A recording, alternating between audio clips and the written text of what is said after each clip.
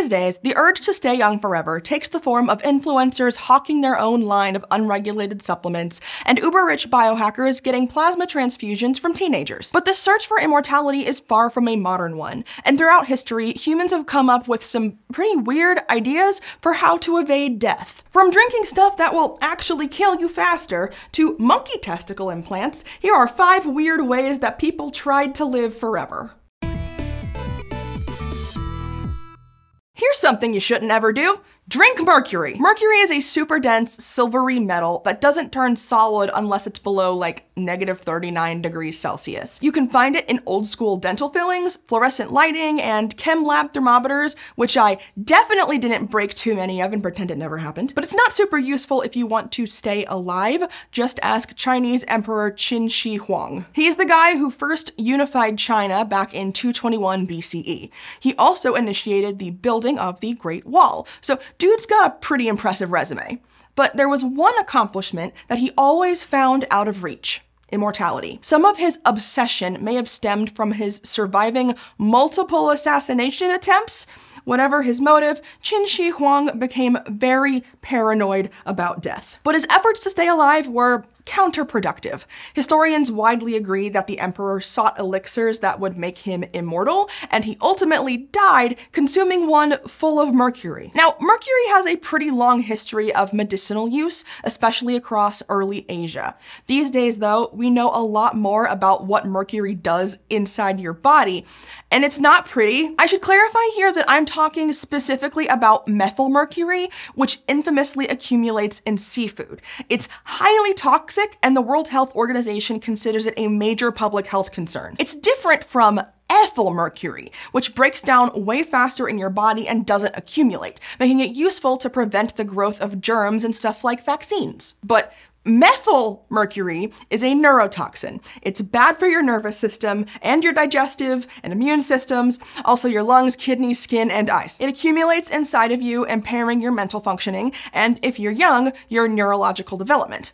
Above all, it can kill you. So needless to say, Qin Shi Huang did not achieve immortality, but his relationship with Mercury didn't end with his death. According to historian Sima Qian, who chronicled the emperor's life, he was buried inside a chamber decorated with liquid mercury rivers and lakes, approximating the geography of China. Scientists estimate there could have been at least 100 tons of the stuff to start, but over time it leaked out both through cracks in the ground and just by evaporating evaporating like liquids tend to do. Studies have shown elevated atmospheric mercury levels near Qin Shi Huang's tomb, which has never been opened because well, we're still trying to figure out a safe way to do that. Qin Shi Huang and his deadly search for immortality isn't a historical anomaly, of course. Move just one step leftwards on the periodic table, and you'll go from mercury to gold. And we'll take several steps across both space and time to meet French courtier Diane de Poitiers. She was Henri II's mistress in the early to mid 16th century, and basically queen of France in all but name. And de Poitiers, who was 20 years older than Henri, was known to have regularly consumed gold to stay young. Now, this might not sound alarming if you're used to edible gold. That's chemically inert, so it's okay according to the US Food and Drug Administration standards. But that's not what she was swallowing. She wasn't even eating chunks of plain metallic gold. She was drinking her own toxic mixture called aurum potabile. This drinkable gold could be made a few different ways, including distilling alcohol solutions with sulfuric acid, producing diethyl ether. That then got mixed with the compound gold chloride, which is toxic. If swallowed, it can damage your blood, liver, and kidneys. This combo produced a gold-colored layer at the top of the liquid, which some considered drinkable gold. De Poitiers died in 1566 at the age of 66.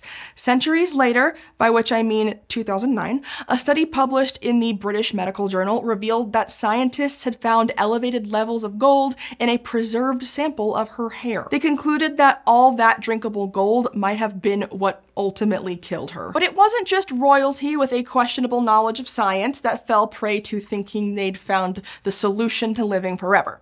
Even the so-called father of the scientific method, Francis Bacon, had some pretty oily ideas. Now, Bacon was a sickly guy, but he still believed people had a duty to live longer, not just for the hell of it, but so that they could pursue knowledge. Of course, in the 17th century, those kinds of aspirations could lead you to some weird conclusions, even if you were a respected philosopher and scientist. See, Bacon believed both animate and inanimate bodies contained different kinds of spirits. He thought those came in different types, controlling everything from bodily functions to sensations. Even more extreme than that, Bacon declared spirits could be like a, quote, gentle flame that conspire with the air to still quoting, destroy the whole fabric of the body. Bacon figured that a life hack for living longer came down to calming and catering to those spirits, and he had a lot of ideas about how best to do that. Some of this will sound a bit familiar. It's no mercury, but Bacon did think items like dissolved pearls or gems could be injected into the bloodstream to help extend your life. That's in addition to plenty of other weird stuff, like having some rhubarb soaked in white wine and beer for half an hour, and consuming that once every six or seven days, which sounds downright pleasant for a man who had potassium nitrate, a critical ingredient in old school gunpowder, every morning in his broth. But Francis Bacon was also super fixated on moisture. Specifically, he thought it would be really bad if it escaped your body. I also hate dry skin, so I get it, but Bacon was pretty intense about it. He thought generously slathering yourself in oils, ointments, and pomades was the way to go if you wanted a shot at immortality. See, Bacon believed that oil could be effective in tending to spirits because for whatever reason, he figured it wouldn't irritate them, and he had some scientific reasoning here. Bacon made a lot of observations about oil, like how it could preserve bodies or soften things that had become hard, like parchment or leather.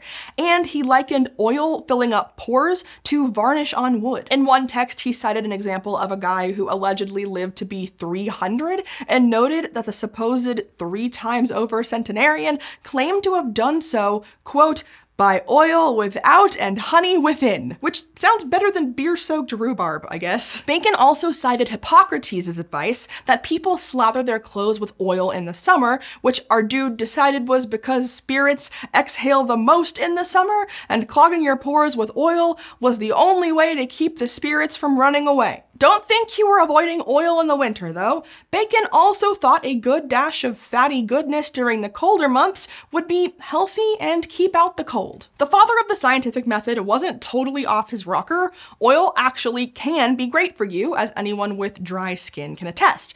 But if you slather yourself in it every day, you're more likely to have greasy skin and pimples than you are to live forever. While people throughout history have thought the secret to living forever was hiding in someone else's blood, not every weird story you've heard is true. Vampires are not real, despite what Baldur's Gate 3 and the 2,311 pieces of fanfic tagged Astarion slash reader on AO3 right now have to say about it. Take Hungarian Countess Elizabeth Bathory, for example. She was born in 1560 to a powerful family who controlled the historic region of Transylvania. After her husband died, rumors started to circle bloody rumors. Specifically, she was accused of murdering more than 600 peasant girls and bathing in their blood, believing it would keep her youthful. Some modern feminist scholars disagree and say Bathory, a powerful woman, was framed for financial reasons. But she's not alone. In 1492, Pope Innocent VIII was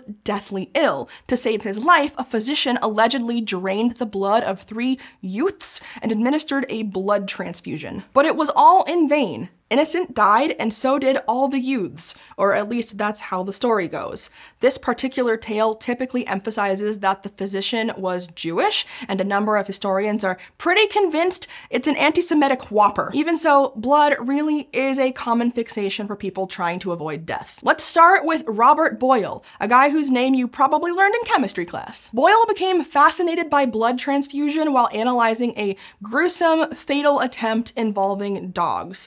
Today, we know that blood transfusion is critical and life-saving, but back in Boyle's day, people really didn't know much about it. Boyle was an early pioneer in the field, but not always in ways that are super above board. For one thing, he oversaw a blood transfusion between a sheep and a human, leading to years of public mockery. Then there was his fruitless search for the Philosopher's Stone, a mythical substance that alchemists believe could help reveal an elixir of life. Boyle died in 1691, but human fascination with blood would live on. Alexander Bogdanov, a Soviet physician born in 1873, truly helped pioneer blood transfusion. He founded the Institute for Blood Transfusion in Russia, now called the National Medical Research Center for Hematology. He also believed humans had an obligation to cure death and help the sick, sparking an interest in rejuvenation or reversing the process of aging. That interest would prove fatal.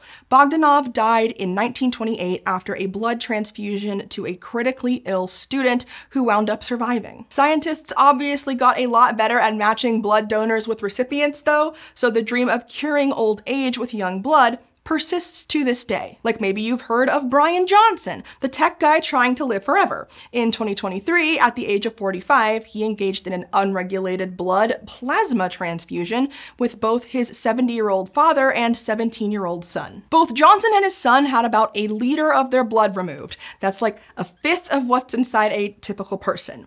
And then the blood was spun around in a centrifuge to separate out the blood's plasma from all the red blood cells and other important bits, which which another body might reject. Johnson's father received a transfusion of Johnson's plasma, while Johnson himself got his son's. The son, in turn, God zilch. Please note that the FDA does not recommend doing this, and Johnson himself admitted he didn't wind up seeing any benefits from the procedure. But I do have to acknowledge that there is some evidence that ingredients in young blood can help aging organs. A lot of that science relies on mice though, not humans, and it's still pretty early research. So in the meantime, maybe just donate your blood to keep other people from dying if you can, and avoid putting insufficiently tested concoctions inside of you. If you heard the name Charles-Edouard Brown Séquard prior to 1889, it was probably because he was one of the first people to work out the physiology of the spinal cord. Pretty impressive. But after 1889, it may have been because of his foray into some questionable self-experimentation. Specifically, he injected himself with fluid from the testicles of freshly killed dogs and guinea pigs 10 times. Which, yes, on one hand is good scientific practice, but on the other, that is 10 times more than he should have. Brown-Séquard believed this procedure would restore strength and stamina, and he did the proper thing and presented his results to France's Biological Society. According to one source, he made no claim that he'd found the latest version of the Fountain of Youth, merely that something inside testicles might have a role to play beyond reproduction, and other researchers should try to replicate his findings. He died a few years later, a week shy of his 77th birthday, but his work did generate a lot more interest in sex hormone research, which leads us to Sergei Voronoff, born in 1866, who observed eunuchs in Egypt who seemed to age quickly. From there, he jumped to the bold conclusion that testicular transplants could help reverse a lot of health problems, including aging. And Voronoff was an equal opportunist. He did his experiments on people and animals using the testicles of executed prisoners at first before turning to more readily available monkeys. Through xenotransplantations, or transplanting live cells from one species to another, Voronoff grafted slices of baboon testicles onto thousands of aging men, relying on his own farm to ensure a steady supply of animals. A 1928 New York Times article reported that Voronoff believed gland grafting could elongate human life for upwards of 150 years.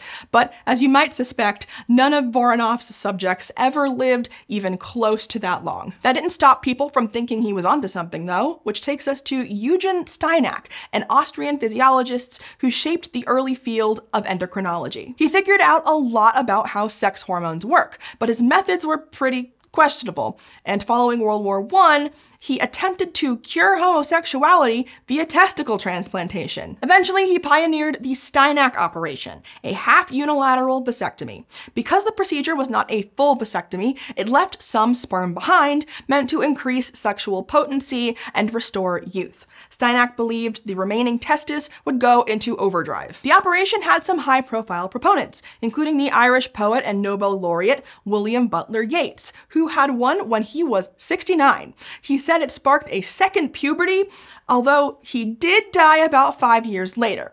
Steinach, meanwhile, missed out on the Nobel Prize a whopping seven times. Now, all these researchers did help us learn a lot about bodies, but their work is also part of an ongoing trend we still see today.